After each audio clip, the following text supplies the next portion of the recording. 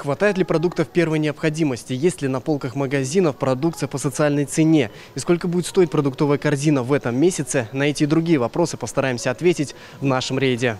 Начнем с ассортимента. В первую очередь нас интересуют товары первой необходимости. Это хлеб, молоко, масло, картофель, крупы и яйца. Окинув беглым взглядом прилавки и полки магазина, констатируем. Минимальный набор продуктов питания для покупателей гарантирован. Об этом говорят и сотрудники торговой сети. Поставки у нас регулярные каждый день, то есть все в порядке, продукции хватает, ажиотажа на нее нету.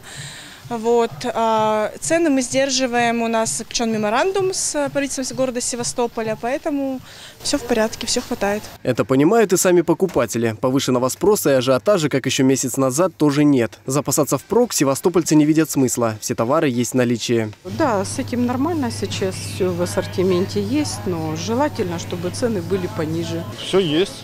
Но меньше стало, смотрим, вот сейчас там в том отделе фруктов меньше стало немножко. Ну, так-то как бы все есть, такие товары, которые первой необходимости, они все есть. Старые времена, послевоенные, обычно скупали керосин и соль, и спички.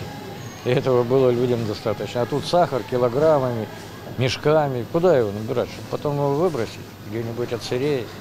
Нет. Все, все есть, все нормально, все хорошо.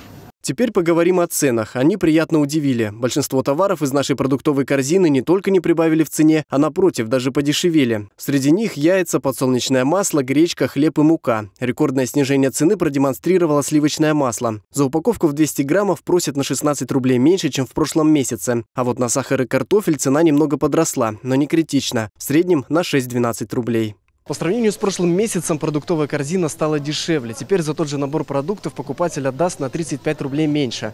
Разница небольшая, но радует ассортимент продукции, а также то, что есть социальная цена на жизненно необходимые продукты питания.